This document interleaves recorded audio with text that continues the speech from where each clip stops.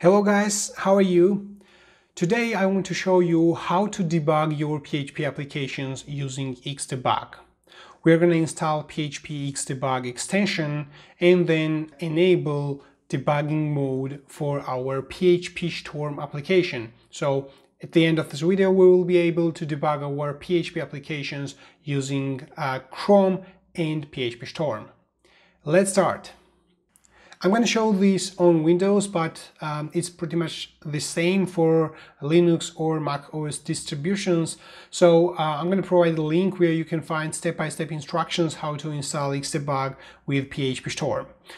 Um, but for Windows, go to the XAMPP folder and a PHP folder and find the PHP ini file and let's open it. Um, search if there is already mentioned Xdebug if not, just at the end of this file, put the following lines. Uh, where we specify the xdebug extension file uh, name, which uh, for Windows is PHP xdebug DLL, but it will be different for Mac OS or Linux. And remote enable 1 and remote port is 9000, which is by default.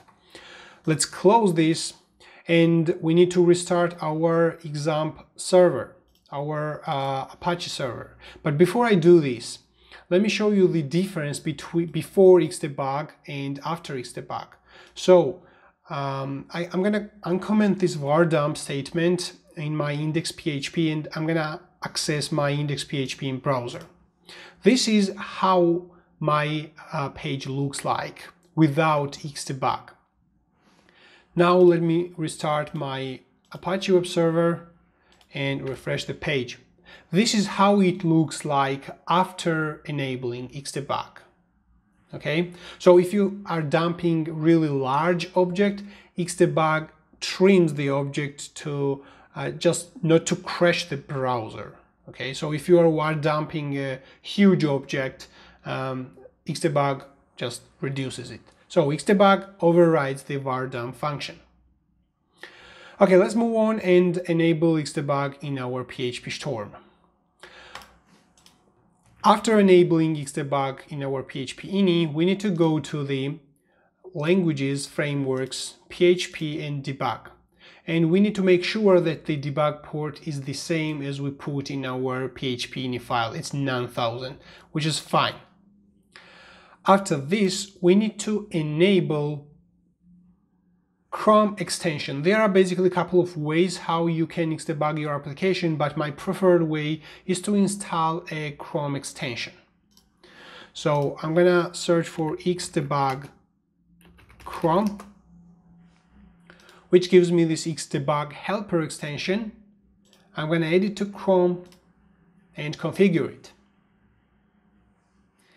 Here is my xdebug extension. I don't need this anymore. Xdebug. Okay, here we need to configure it a little bit. Go to the options and in your ID key search for PHP Storm and the ID key will be PHP Storm and just save this. Okay, we configured our Xdebug helper. Now let's go to the PHP Storm again and click on this bell button, which is start listening for PHP debug connections. Now when I do this, it starts listening and now I can click on this bug icon on for Xdebug, debug, uh, debug. Let's refresh the page.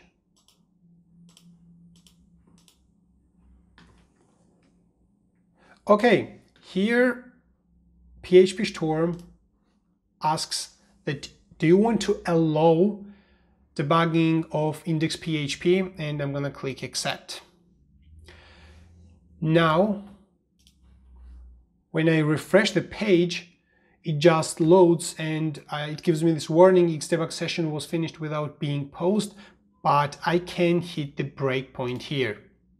And when I refresh the browser again, it pauses at this point and waits until it until I click the uh, step over or step into button. So Um, now you can do anything here. Uh, you can step over to this get array method and go to the uh, hello. I can step into here, uh, which is a hello function, and I can see that my name, past name is Zura, and I see basically all variables declared in this scope, which is a cookie, server, and so on. That's basically all. So if you like the video, please hit the like and subscribe buttons and see you in the next time.